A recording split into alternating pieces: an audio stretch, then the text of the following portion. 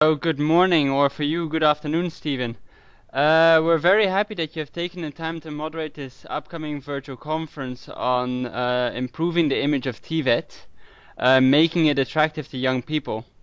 So that the participants can get to know you a little bit better, uh, could you quickly introduce yourself?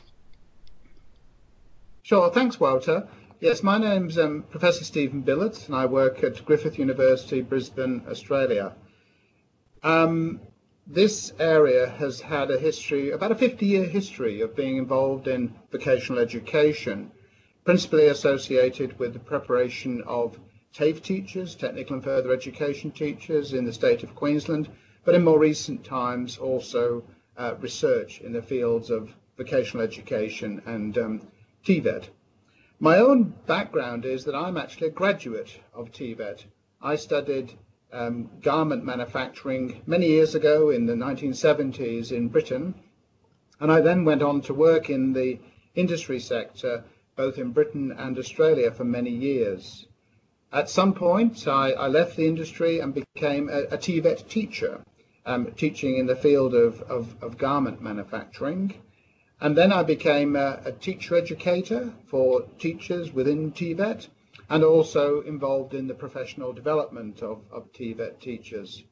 Subsequently, I was involved in roles associated with policy for vocational education in the state of Queensland, but also being involved in national initiatives that placed vocational education at the centre of um, macro and uh, economic changes um, in, in Australia. Um, for the last 25 years or so, I've been working at Griffith University and focused on teacher education, as I've mentioned, but also on research into vocational education. And I have a particular emphasis on how people learn through their work and how we can integrate those work-based experiences within TVET programs. I'm also the, the founding editor of the journal Vocations and Learning, and also the editor of a book series associated with um, learning through through work. Well, thank you very much for that. Uh, a wealth of experience, and we're very lucky to have you with us uh, over the coming one and a half weeks. Uh, the virtual conference will look at measures to improve the image of TVET and make it more attractive to young people. Uh, could you maybe please run us through how the virtual conference is structured and when we'll be discussing what? Okay, thanks, Wouter. Yes, well, it all starts on Monday, Monday the 16th, and the first um, of five threads is, is concerned with the image of TVET and the consequences of that image. And you know, the idea here is that we need to understand the, the issue, the problem, and how this is how this plays out across um, different countries. On the 17th, we engage in um, the second thread, which is trying to identify the factors that um, shape the image or standing of, of TVET and again how that plays out. It seems important to understand these factors because if we are seeking to remedy the situation or change the situation, it's important to understand you know, the basis of that and what generates the particular image and what can be done to address issues or problems associated with it. The third thread, which is on the 18th, is focusing on the, the, perspectives of young people, and we hope to get views and perspectives of the young people who make decisions about how they engage with TVET and how they persist with it and how they, they use it, and also what what shapes their thinking and acting in terms of making decisions about their their participation in TVET. And we hope to have some examples and some um, teasers from, um, uh, from young people. Then we move on to the fourth thread on the 19th, and that's about the kinds of policies and practices that are being enacted to try and enhance the image of, um, of, of TVET. And here we'll have accounts from different countries and different uh, policy efforts to try and change the, the perceptions of, or, and the image of TVET.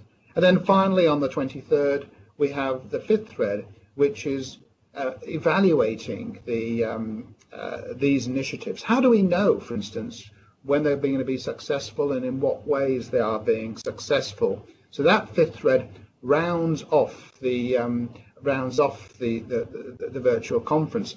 Now, throughout, the idea is to provide you with some resources, but also Uh, particularly provide you with questions and teasers so as we can start a conversation, we can start an engagement. And my role will be to try and keep that conversation going and draw inferences from it and share those inferences with the, the delegates. One thing that's important is that while some of the the examples we will use will come from you know Western Europe, from places like Germany and Switzerland and Denmark, etc. That what's very important is that we realise that what works in Maastricht won't work in the Maghreb or Marrakesh or Maputo or Mumbai, for instance. They're alone through Mogadishu. And that what works in those situations might not work in Maine or Montreal or here in Australia in Melbourne. So we're very conscious that there's going to be a set of issues which seem to be common across many countries, and that is the low image of TVET. But the the way it plays out, that what needs to be done, is likely to be quite distinct to nation states, the particular history and cultural practices of, of those countries. And so it's important that we gain insights from a range of examples and not just those from um, Western Europe. So hopefully, and already looking at the, um, uh, the list of participants, we're going to have a lot of input from, from Africa, um, from the Americas, and that's going to be very important because it will challenge the ideas that what works in Europe will work necessarily work in, in, in those countries. And just to finish up, already there's been a very interesting contribution which is positioning this topic as being core, as being central to the TVET project, and I couldn't agree more. So I look forward to engaging with you starting next uh, Monday on the 16th and working with you across until the 23rd. Thanks very much and looking forward to engaging with you.